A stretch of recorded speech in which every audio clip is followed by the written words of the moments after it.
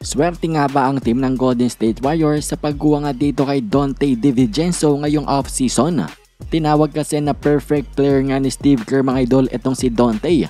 Perfect fit for the way we play. Yan mga idol ang kanyang saloobin patungkol nga dito sa kanilang bagong gwardya. At yan nga mga idol ay isang tamang statement.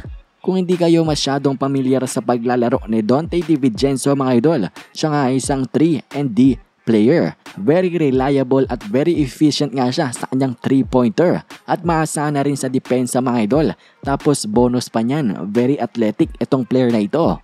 Kayang-kayang sumabay nga mga idol sa laruan ng team ng Golden State Warriors na all about player movement at ball movement. Kaya nga si Coach Steve Kerr na mismo ang nagsabi ng Dante is a perfect fit for the way we play.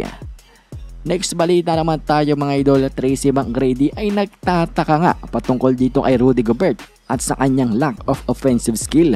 Meaning yung kawalan niya mga idol ng laro pagdating sa offensive side.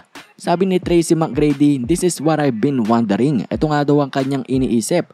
Ano ba nga daw ang ginagawa ni Gobert this off-season? Ano nga daw ang iyong workout?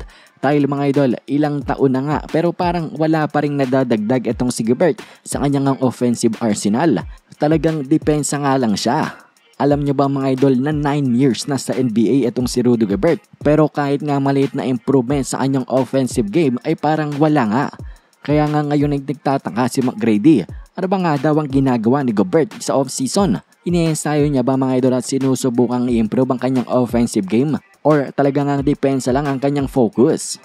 Pero anyways nga mga idol, pag-usapan na natin ang ating panguling balita na talaga namang ikatutuwa neto ni Lebron James. Sabi nga ni Chris Nain sa kanyang balita patungkol sa Lakers, nilinaw nga daw ni Pelinka ang kanyang nararamdaman na gusto niya nga daw itong si Lebron James na mag-retire bilang isang Laker player at nangako daw siya na ibibigay nga daw mga idol ang lahat ng kinakailangan ni Lebron James para ngay makapag-compete siya sa championship each year na nandito nga siya sa organisasyon ng Lakers.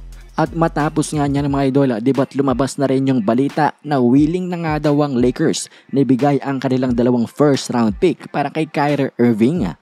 So mukha ngang may change of heart itong si Rob Pelinka. Nagbago ang kanyang isip mga idol at mukha ngang hindi na nga siya nag-iisip para sa future ng Lakers kung hindi mag-all in na nga yata siya hanggat nandito pa si Lebron James at hanggat may chance nga sila na manalo ng championship.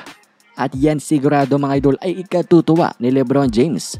Alam naman natin na gusto niya ngang magkaroon sila ng reunion ni Kyrie Irving at na-report nga rin 'di ba na magsasign nga daw ng extension itong si Lebron once na maging Laker player si Kyrie Irving.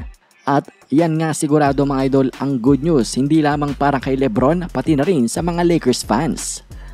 Pero anyways nga mga idol, ano bang masasabi nyo dito? Komento nyo lamang ang inyong mga opinion. At yan nga lamang din muna para sa ating mga balitang NBA ngayon. Maraming ang salamat sa inyong panonood. Huwag na rin kalimutan na mag-like and subscribe. Bye!